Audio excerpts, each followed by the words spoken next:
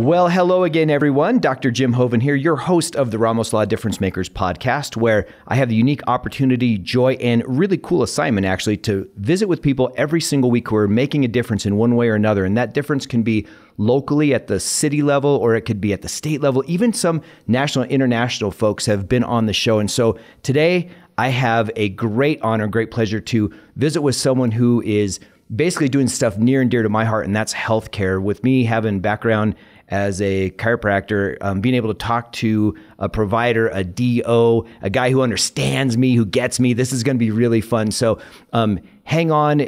You're probably going to get some more questions on this, but we're going to have a great day today with our special guest, Dr. Mike Tracy. Dr. Mike, thanks for coming on and being on the show. Thanks for having me. I appreciate it. Absolutely. So, this is a, a really cool episode. We're going to have fun here because we get to talk as we're kind of cousin providers, right? Because yeah. the, the history of of DOs is really interesting compared to the history of, of DCs. Yeah. And so you guys took a really awesome path where and and got integrated with the medical profession. So you can, you have this whole range of things that you can do.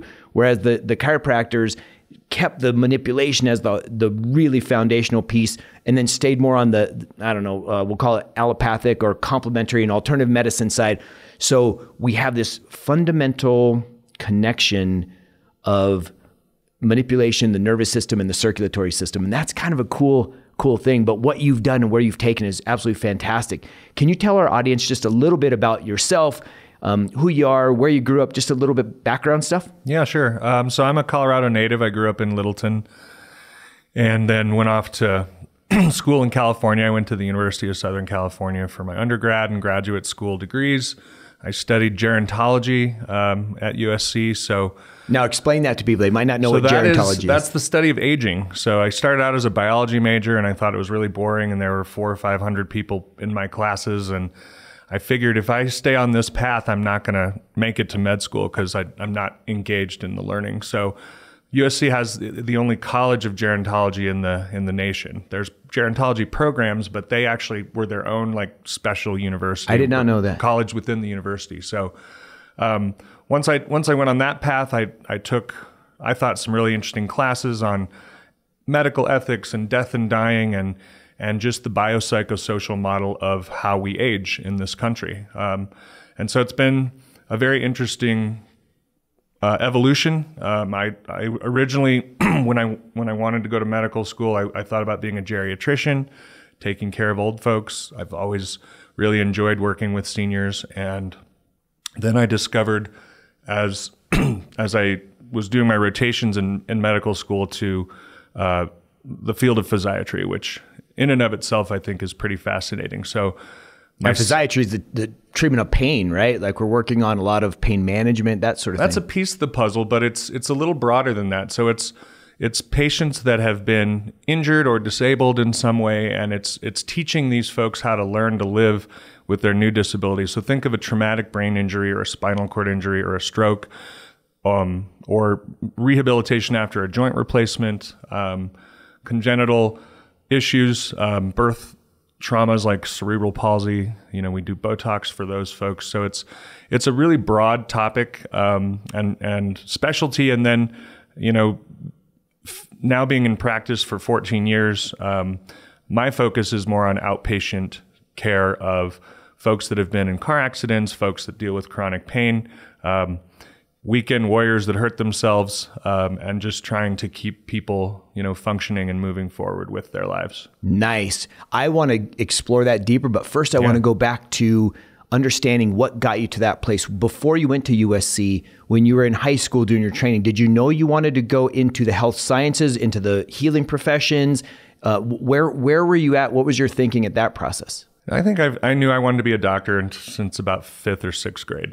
Um, Doctors in your family, or no? My mom was a office manager for a gynecologist, um, so I, I, worked there in high school, which was an interesting place to work with uh, a 14, 15 year old kid and and you know 17 women mothering me and giving me advice along the way. Um, so I um, just it was just always something I thought I wanted to do. And so, were your parents really like, "Yeah, go do it, go go chase that dream," or did they say, "Man, there, there's a lot to this thing that you better"? No, they were they were it. very encouraging. Uh, my mom's boss said, "Do anything but healthcare," um, and I ignored him, and I'm glad I did. But mm-hmm. um, I, I, think everyone just has a different path. Medicine keeps changing, and um, you just have to keep evolving with it if you want to if you want to stay fresh, I guess. Right. So you went to college, you went to USC with the thought in mind of end up going to medical school. Going to medical school. I applied right after, right as I was graduating, took the MCAT twice, you know, trying to get a better score, got the same score both times.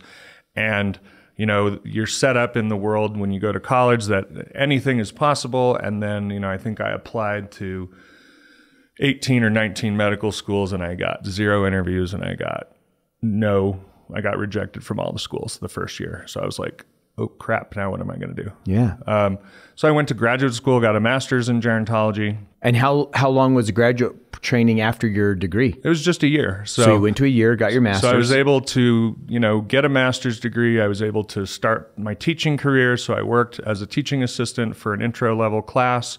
Um, and I learned that, you know, I really enjoyed teaching as well. So that's always kind of carried with me and been a part of of what I like to do as a practicing physician. Mm-hmm. And so when you, I, I want to explore just for a minute the science, emotion, and practicality of rejection. Because as we know, rejection is a very visceral thing that if you've not been practicing rejected, getting rejected in little steps, if you get a big rejection, it can easily derail you from your dream. So you said 18 times you got no's. How did you deal with that? What were your tools, your especially at such a young age? Well, it, it was tough because, you know, you, you go to the mailbox and you see the small envelope and that's never good. So um, I actually I still have a file with all my rejection letters in in a file cabinet somewhere, just to remind myself that no doesn't mean no. It means that you can keep pushing on reevaluate the situation and dust yourself off and try again. And so when I applied the second time, I looked back and I had applied to, you know, 17 schools all over the country, but they were all MD schools. And I had known an osteopath growing up. Um, my mom uh, went to see him for an adjustment one time, and I just found him to be very interesting. And so I looked into osteopathy. And the second time I applied, I applied to seven DO schools and seven MD schools because it sounded like something that I would be interested in the, the holistic approach to taking care of a patient. I was interested in learning about manipulation um, and applied the second time, and I got 14 more rejections. So now I'm twice rejected. My MCATs are good for one more year, and I'm like, I'm I don't know if I'm gonna be able to do this. And, yeah. And what the hell am I gonna do? Because this is not in my plan. And so I moved home from California, finished, and I, st- I took a job at an assisted living facility. And so at 24, I was in, I was the resident services director for 112 people in an assisted living in downtown Littleton, and I was in charge of the people that clean their room and do their laundry and provide their personal care. And the person that hired me said, You have absolutely no experience, but I love that you have this gerontology background, and I think you'll bring some fresh energy to this place. And boy, was I in over my head. You know, I, I sure thought I knew a lot about, you know, managing people and, and interacting, but the academic me did not uh, really, wasn't really prepared for the supervisor me. Um, and, and trying to keep 112 people happy, trying to keep staff doing dealing with turnover. I mean, people would call out and I'd be doing laundry, you know, for 50 people and you know, I'd be stuck on the overnight shift because the person called out and we didn't have anybody else and I was always just kind of raised that you just step up and, and get the work do done. what needs to be done. So um, so I applied the third time, and the third time I applied, I applied to the University of Colorado, and all the rest were DO schools. By that time, my master's degree had been completed. They had those grades and transcripts, and the big envelopes started coming in. So I finally got my first interview, and then I, I, I got other interviews. I got interviewed at CU, and I was told, well, your, your MCAT scores are not not good enough for this school. You, you, based on getting a 29 and you really need a 30 or above, you're you would struggle here. And so I got waitlisted and I ended up getting accepted to the um, Western University College of Osteopathic Medicine in Pomona, California. And I matriculated there. You know, I was bummed that it was a pricey private school, but um, it was the best thing that ever happened because I was meant to be a DO.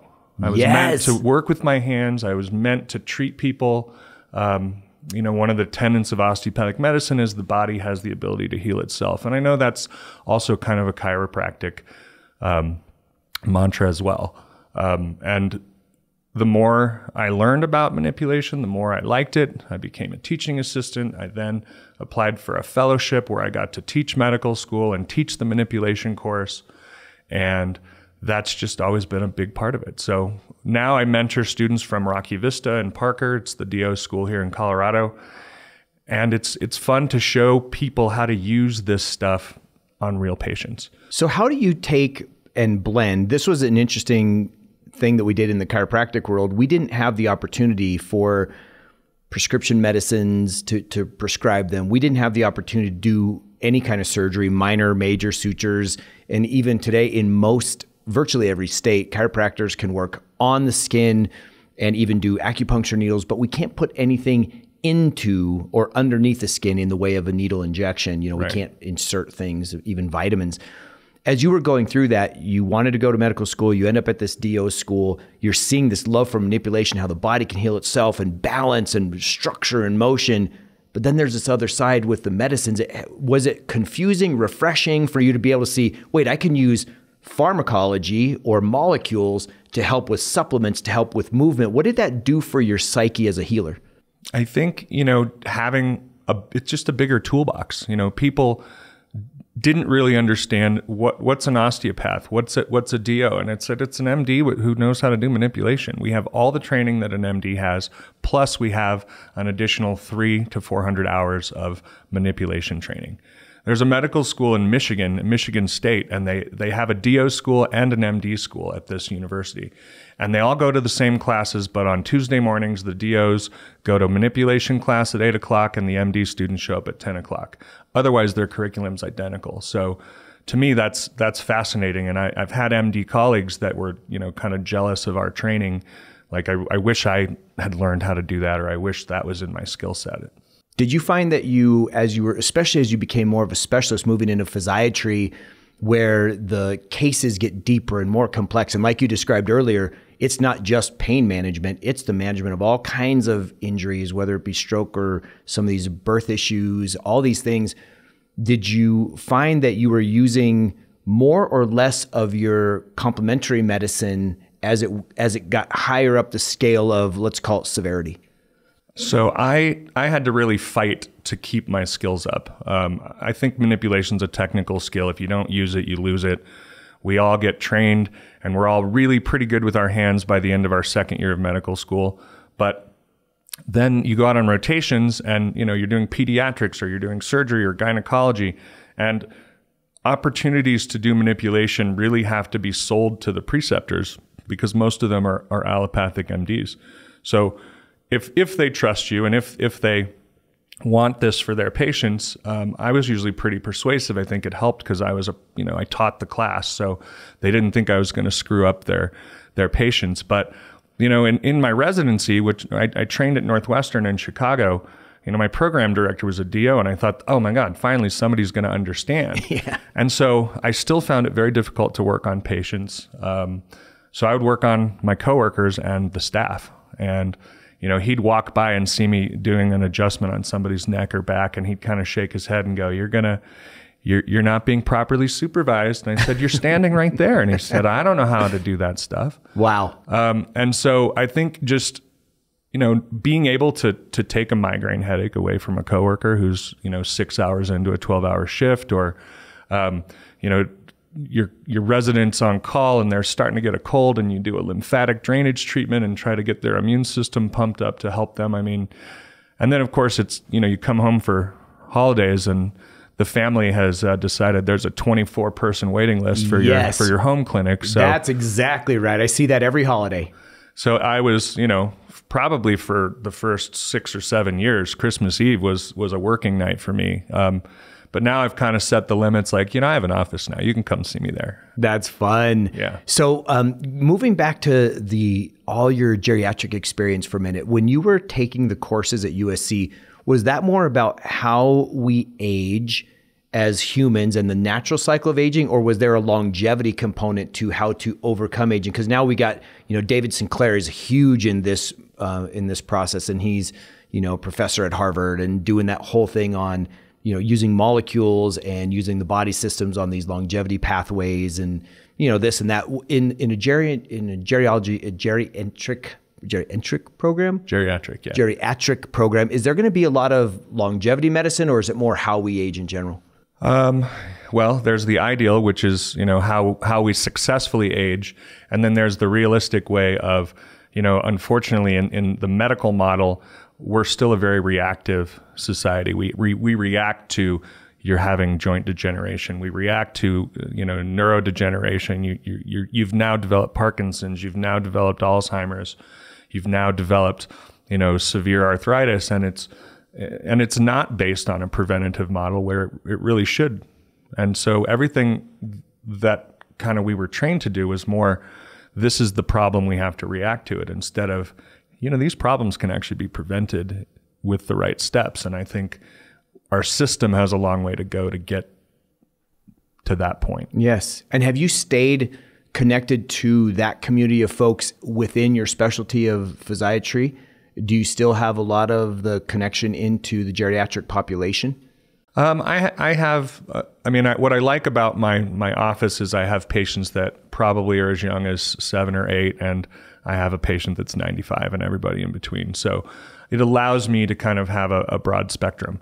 Um, but just you know, like taking taking someone who's not sleeping. When you don't sleep, that affects everything in your life. It makes your pain worse. It makes your mood worse. Um, and so being able to address the whole person and not just their body part, I think is one of the things I like most about what I do. That is so cool. I, you know, when I was practicing, you know, before doing the stuff I'm doing with the law firm and the other things at this point, I really enjoyed, I found that I got to the point as a provider, and, and I'll share where this question is going in a minute.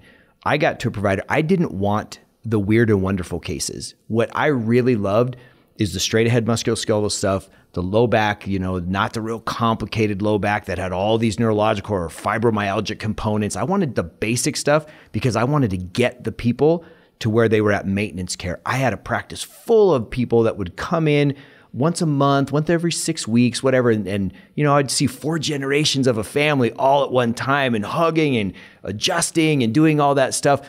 And then helping athletes. I, my specialty was in sports injuries. So, sports injuries and musculoskeletal pain. Those were my sweet spots, right? I didn't want to get deep into the blood work and the functional medicine. Have you found as a provider that you have your just your ideal day, your ideal patient where they, they fill your cup regardless of what's going on with them? And what does that look like? So for me, I I like when patients get better. I think there's two aspects to what I do. There's the chronic care of patients that are, are not going to get better. You know, that's the amputee that's not their legs not going to ever regenerate. So how do you learn to live with the prosthesis you have, and and how do you how do you succeed? How do you get back to work? Um, and I think the the other patients are, you know, I, I think of this one family that, you know, they'll just pop on my schedule every couple months, and it's this this kid I've known now since he was in middle school and now he's a junior. He's taller than I am and he plays basketball and every now and then he gets a psoas spasm and he throws his back out and he knows exactly what's wrong. And he now he drives himself to see me without his mom. And he, you know he he's like I you know I, I need you to adjust my hips. And so adjust his hips send him on his way and I'll see him next time. So sending people out of the office feeling better instead of here's a prescription or here's a physical therapy regimen I want you to do.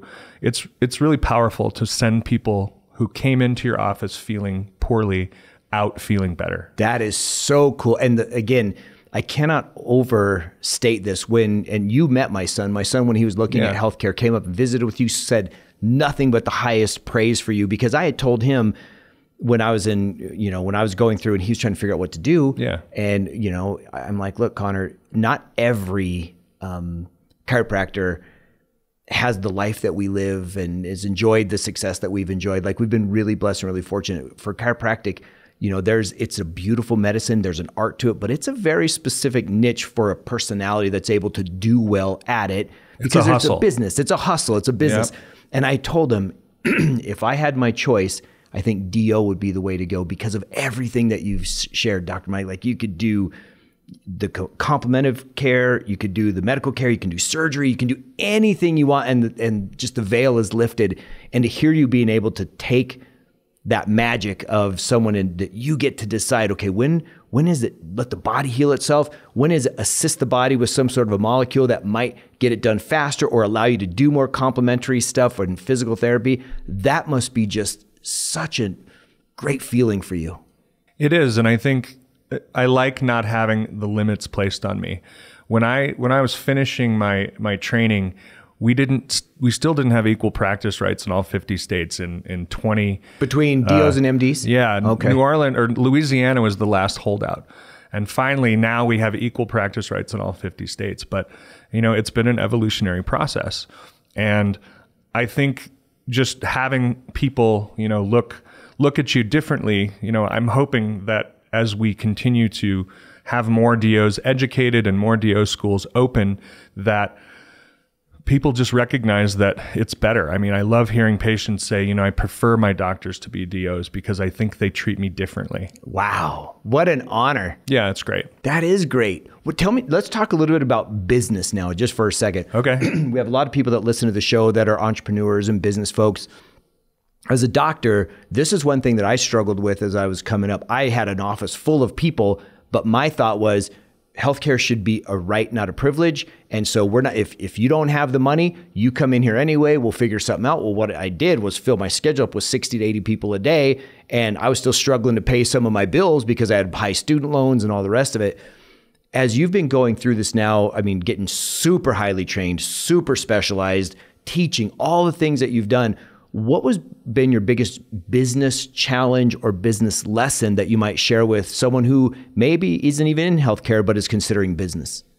Uh, I think, well, right now, I mean, I think it's it's hard to find people that that can work uh, in your office. The the salary demands have gone up so quickly, and the the talent pool and just the people that that want to do this work, I think it's hard to find people. And so we're getting more creative. Like how can we how can we be a a place that people want to work? I think making it not just, you know, you're here to earn your paycheck, but you're here to be part of this family and we we work together to take care of these folks. It's right. not just me and you're the underling getting the authorizations from the insurance companies.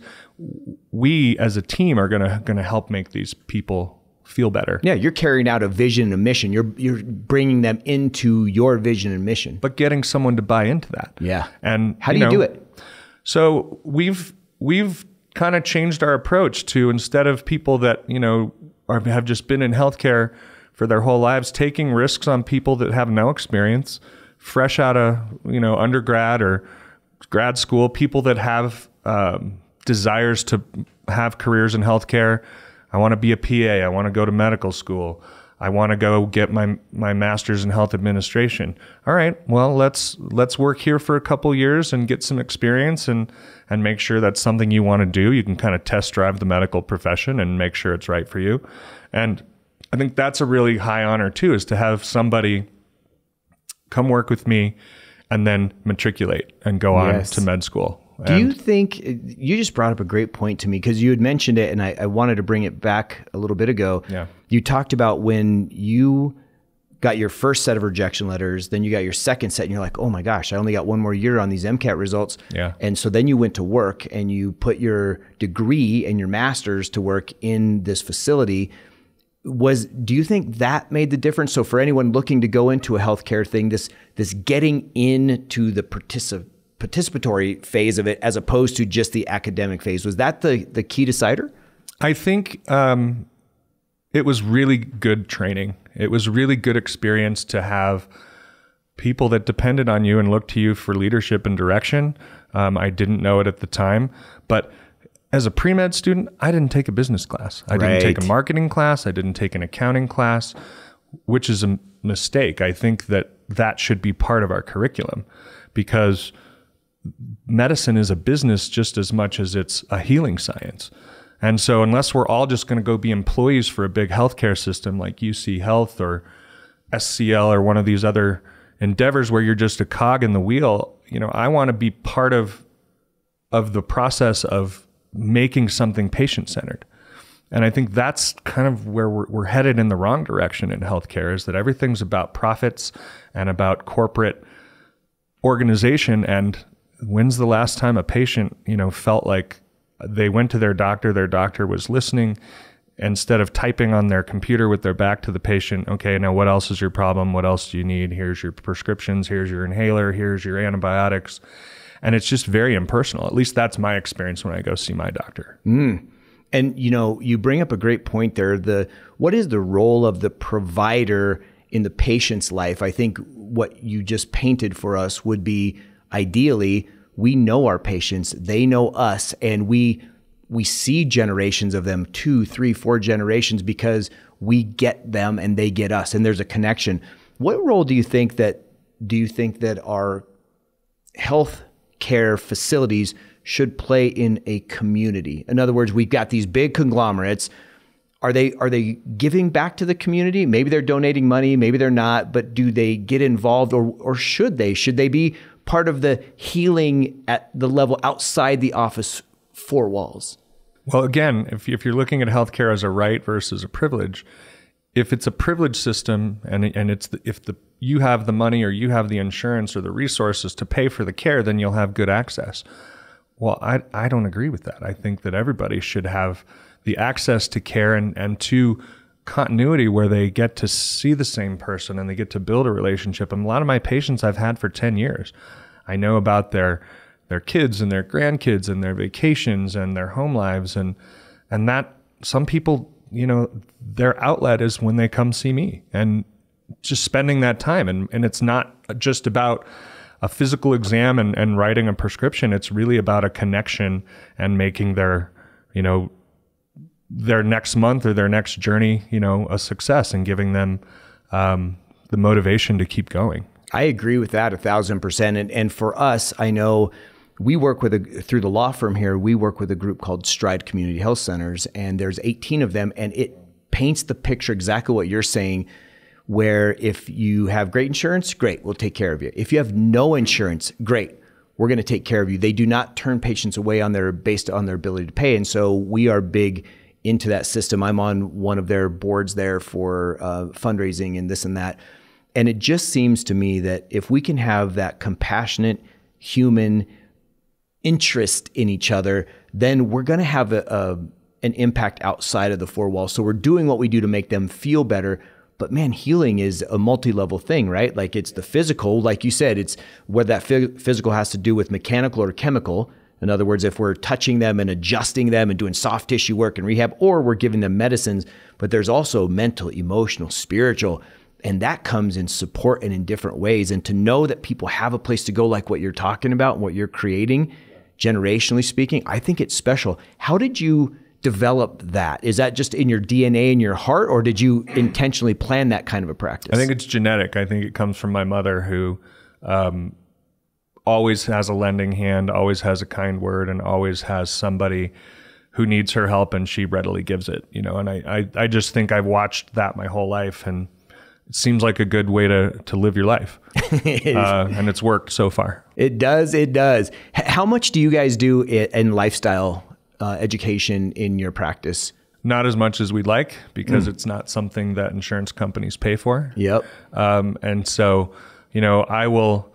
I can. It, it's it's really talking with patients about what direction they want to go in, and um, we don't do as much as, as I think we could or should. Mm. Um, you know, I've toyed with the idea of going back and studying regenerative medicine and functional medicine because I think that also would be very complementary to my training as a DO and my training as a PM&R doctor. But it's just like, well, I only have 24 hours in a day. Do I really want to come home and study and get board certified in another specialty? Um, But I'm only 14 years into this leg of my career, and I look at someone like you that's had three or four different directions you've gone in, and I'm, you know, I wonder sometimes if I'm ready to to take a different direction. You know, that's such an interesting path, and I want to explore that for a while because I, sure. I will tell you, when I first got into practice, man, Mike, here was my deal. I am going to literally the last thing I'm going to do on the planet is I'm going to be given adjustment and then my time here will be done. The patient will walk out feeling better and I'm going to drop dead.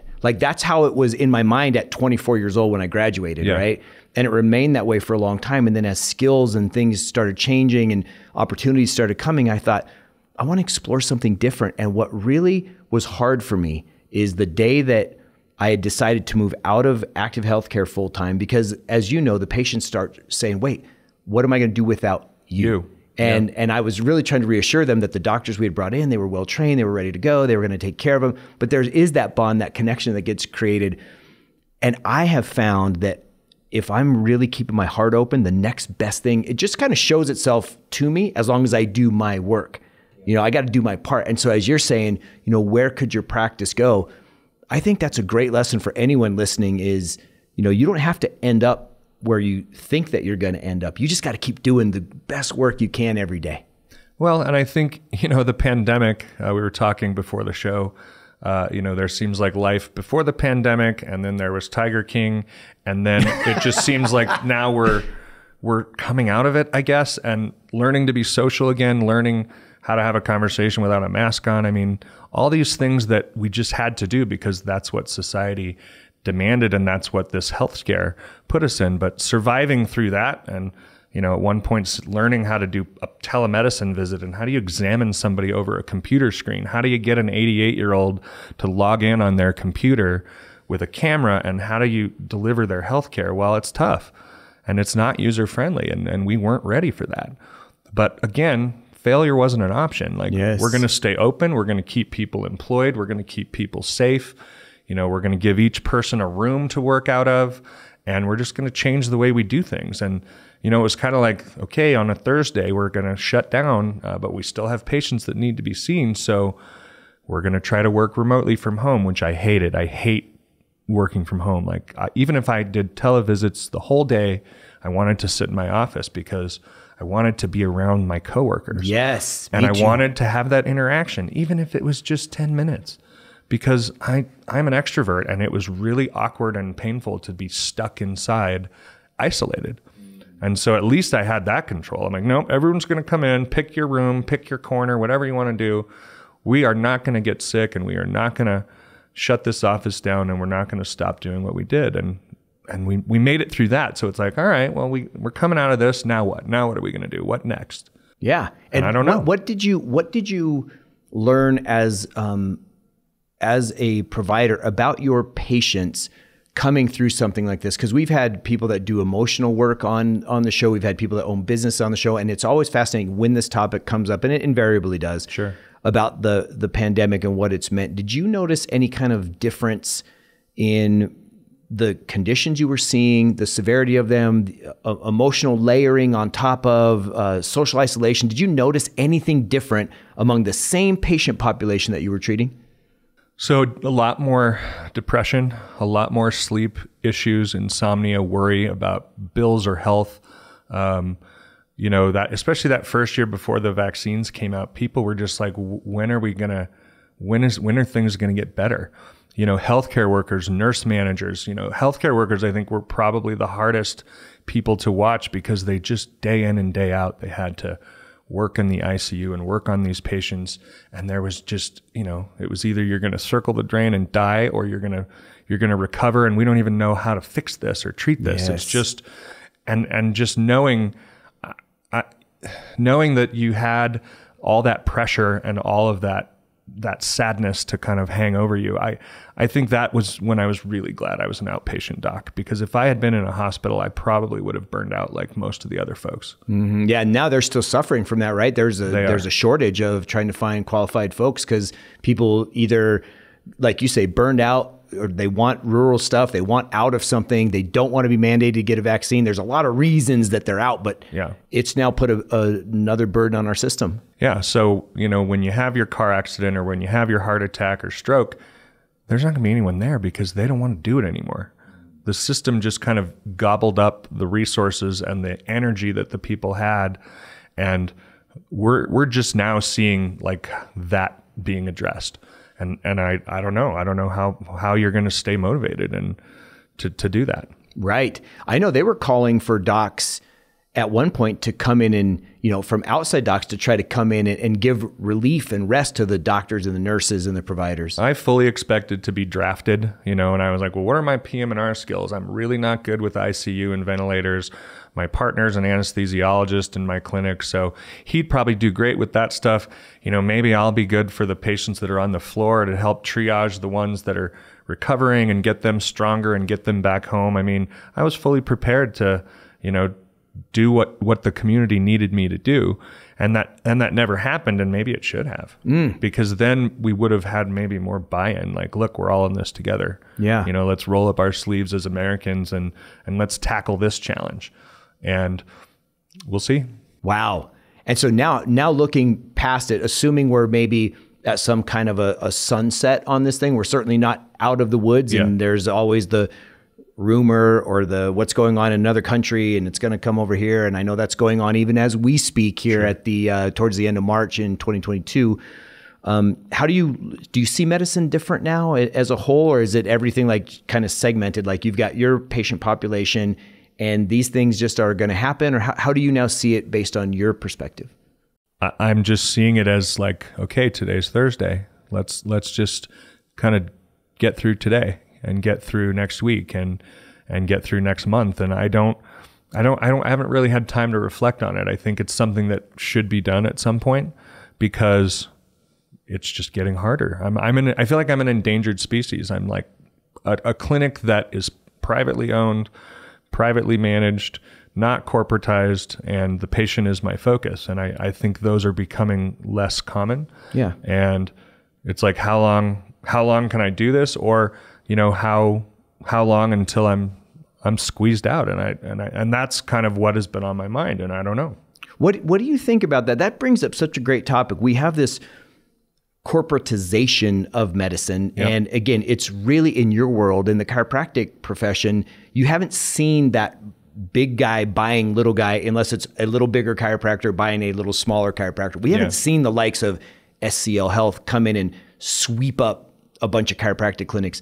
Why do they do that? And and what's the attractor for all of the smaller practices to go in? Is it expense or why why do they do that? I mean, I had a conversation a couple weeks ago with a surgeon. Um, he's been in private practice as long as I have, and and we were almost just kind of having sharing war stories. And he said, you know, it's so hard to just do your job, and and that's already enough, and it's already enough of a challenge, but hearing that people want to be paid more, hearing that they don't like this coworker, and all the drama of employing and, and running three offices, uh, which is what he did. I only run one run off one.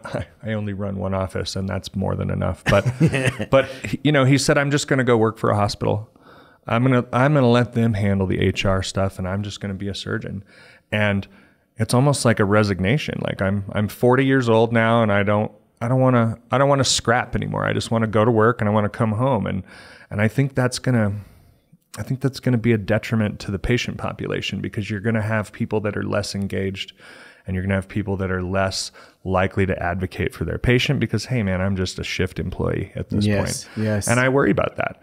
But you know, I also like you, uh, my student loans still aren't paid off and um, I, I still have you know a life outside of medicine that I want to maintain, and I don't want to I don't want to be you know working my last shift and then dropping dead of a of a heart attack because yeah. I'm trying to to keep the scraps together. Right. And I think I think we have to we have to figure that out, and I think that probably has to come from a community level because I don't think the city level, the state level, the federal level, I don't think I don't think that's in the the plan. So I think you have to dig into your communities and and get established, you know, where you're at and be part of of who those folks are in the community and and that's you know maybe maybe the solution yeah i know we I'm, talked about that earlier right like yeah. what what happens outside the four walls of the clinic and and i have never heard it put in that perspective dr mike but i think you're right. If I'm opening a practice today, and again, you know, I've moved through that place where I adjust. You know, we have 70 employees here at the firm, and I've ad- adjusted the vast majority of them, you know, several times, and have yeah. a, a table in my office. And so my community is my friends, family, and my team here.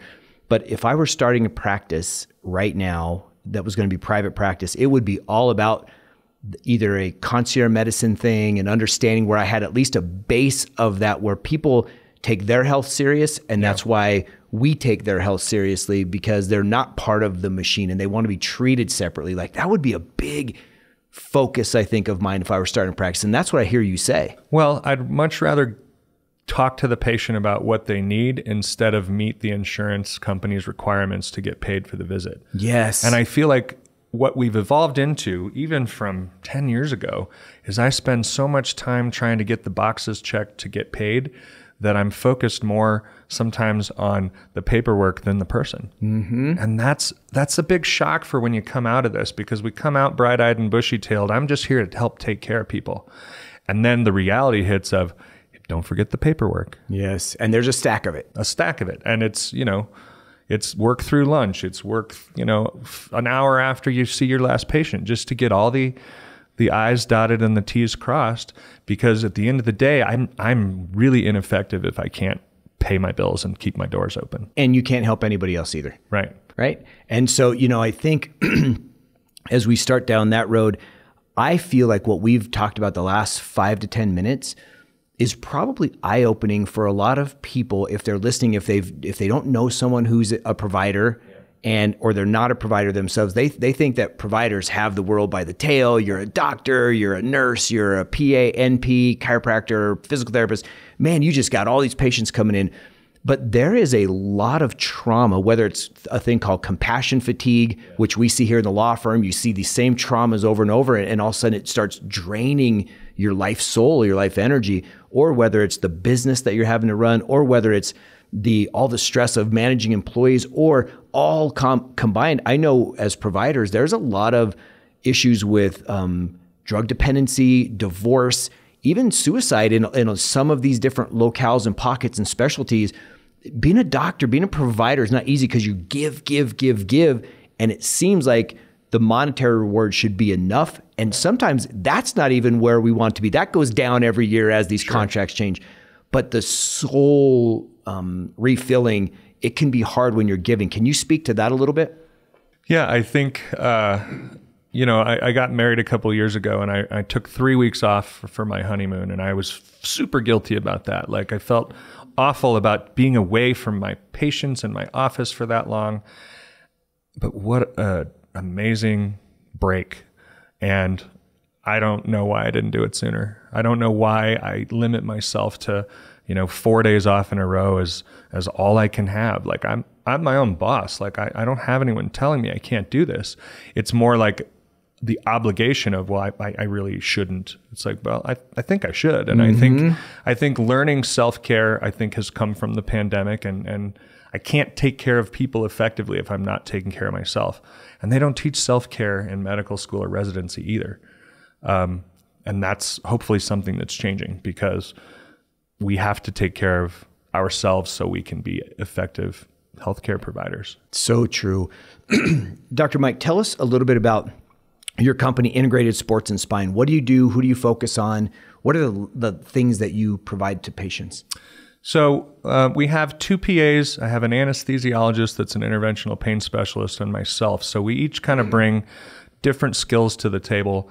Um, we treat I tend to see the more complicated patients. So, um, not the simple back pain or the pinched nerve in your neck. It's, it's you know the the fibro patient with a lupus flare, or it's the double amputee um, whose whose legs aren't fitting because you can't get the swelling done, or it's a spinal cord injury patient that you know is is learning how to walk again and and they're having a lot of pain because their muscles are weak and so I th- I think taking complicated patients, um, taking simple patients. So, one of the types of people I like to take care of are people that have been injured uh, in a car accident, uh, which is how I got to meet you. Right. Um, these people were hurt. They didn't expect it. Uh, they're sidelined. They're not able to work. They're not able to sleep. They're in a, a bad mood because they're uncomfortable. Their car's totaled. Nobody can find a, a new car to buy because there's no cars available. Like it's it's this whole big process. And so, you know, it's like taking the junk drawer out of your kitchen and dumping it on the floor, and now they got to put it back together. And so I think just giving direction and guidance through that process um, and and having people like literally graduate from my clinic like you don't need me anymore. I think that's one of the things that we're really good at. Um, we have an injection suite in our office so we can do epidurals and we can do um, facet blocks and joint injections in our office. And so that became really important during the pandemic because governor polis shut down all elective surgery centers. So people with injuries and back pain didn't stop because of the pandemic, but right. we also so we were able to keep going and keep keep people out of the ERs because that was a really dangerous place to be.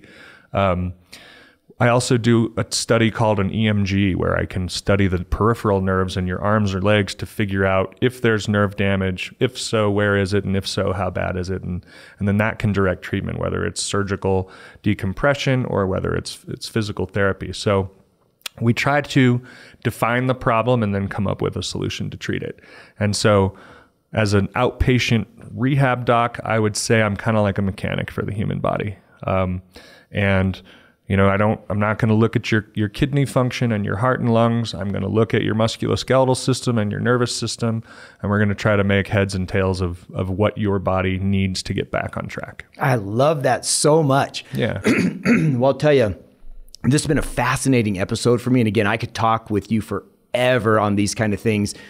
I want to ask you this question. Um, as you've come up, you've faced massive rejection, yeah. you've faced massive adversity, you've had incredible support from your parents, you've done amazing things. Is there one piece of advice that either you've given or you've learned along the way that you would now consider a cornerstone piece of how you operate, your operating system that you'd want to share with us? Um, I think for me, transparency is probably the best thing. Um, for your staff, for your coworkers, for your partners in business, and, and for your patients. You know, it, it's very hard when you're having a bad day to pretend you're not. So I don't. Um, but it also means on a good day, I'm not gonna. I'm gonna share that too. Um, being honest with people with your expectations of what you want from somebody, but also having them have the mutual feedback loop where they can speak their mind too and not be worry about retribution or worry about, you know, the judgment that may come from their statement or their feelings. And I think that's just part of why I like my office because I like I like knowing about your life outside the office. It's we don't just spend, you know, 40 hours a week together. I want to know what you do when you're not here, and and I want to know your your spouses and your significant others, and um, I don't expect us to hang out all the time outside of work, but having a genuine interest in in people and knowing their families and their children, um, I think makes it a more um, habitable place to work. Mm, just, so good. Just having that connection. Yeah. And and and meaning it, not you know, I, I, really, I'm really interested in you just had another grandchild. How many is that now? Like things like that. I just think um, that's that's what garners loyalty, and I think loyalty is what helps drive success. That is beautiful. Well, you have obviously done a great job making a success of your patient care, of your office, and, and uh, ultimately of yourself. How could people get a hold of you if they want to reach you, whether to learn more about your journey, to come and see you as a patient, to maybe if they had a question about you getting into medical school, or you said you do some preceptorships yeah. or internships, how would they reach you? Uh, so we have two websites. We have a website for isscolorado.com. Uh, and that's our integrated sports and spine website. Kind of tells you about our office and the services we provide and the kind of patients we see.